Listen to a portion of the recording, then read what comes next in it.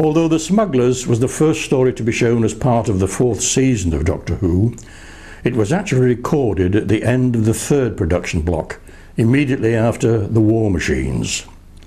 Writer Brian Hayles had previously written the third season story, The Celestial Toymaker, and on the 8th of March 1966 he was asked to write a story entitled The Nazis.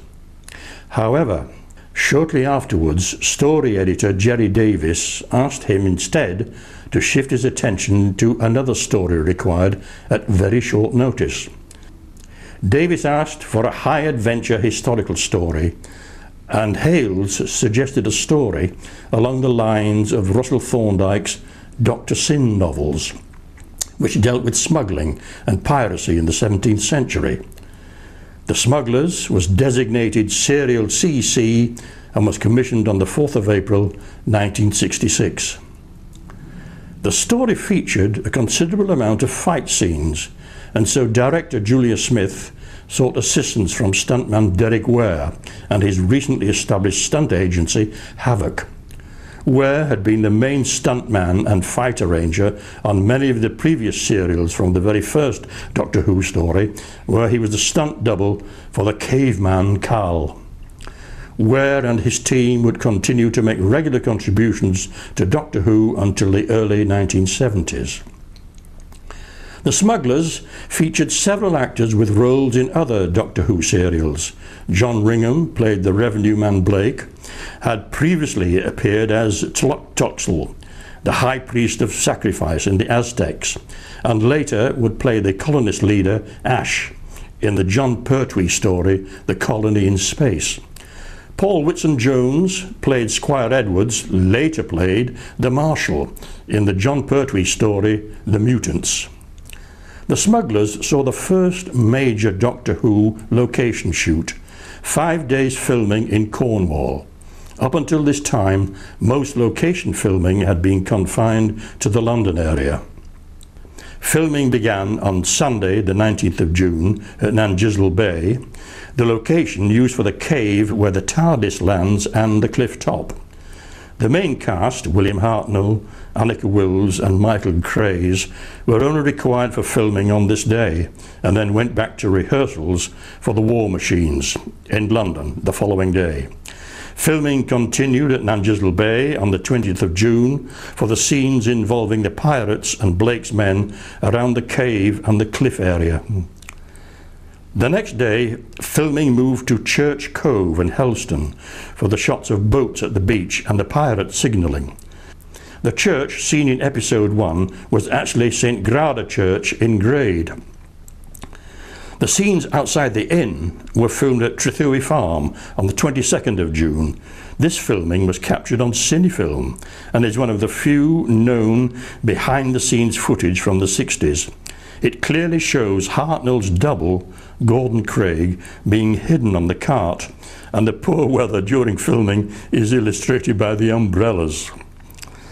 The last day of filming was aboard the ship Bonnie Mary dressed up to double for the pirate ship the Black Albatross. Designer Richard Hunt created a set on the deck of the small boat to make it look like the deck of a 17th century galleon. The sea was reputedly quite rough this day, and several of the cast and crew suffered from seasickness. Studio recording took place in Riverside 1 on successive Fridays from the 8th through to the 29th of July. Unusually, we see in the first episode the time vortex on the scanner showing the TARDIS in flight. This was actually an unused section of the howl round effect used for the programme's opening titles. For each episode, the opening title music was extended to cover the title captions which were superimposed over the refilmed recaps from the previous episode.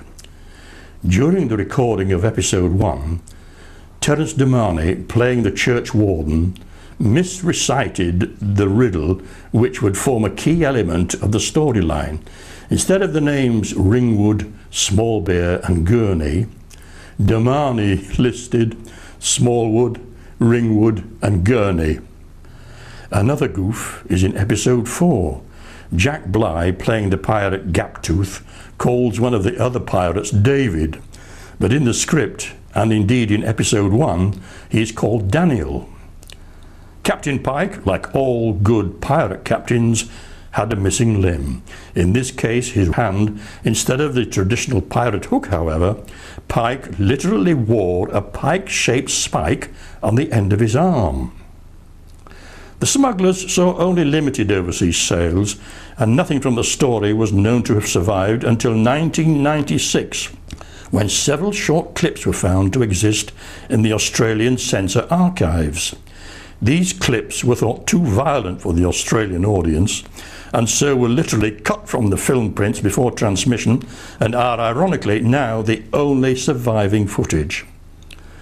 Throughout season three, the production team had been aware that William Hartnell's health had been declining, and to make matters worse, he was not taking well to Michael Craze and Anneke Wills, who were playing the new companions.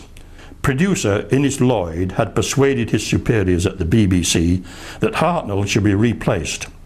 Lloyd approached Hartnell with this decision during the recording of The Smugglers, and it was agreed he would do only one more serial at the start of the next production block. News of Hartnell's departure was released to the press on 6th of August 1966. In the meantime, Lloyd had already approached several actors with regard to replacing Hartnell. These included Michael Hordern, known for such films as The Spy Who Came In From the Cold, Patrick Wymark, who had appeared in Danger Man, Ron Moody, who had recently been seen in The Avengers, and of course, Patrick Troughton.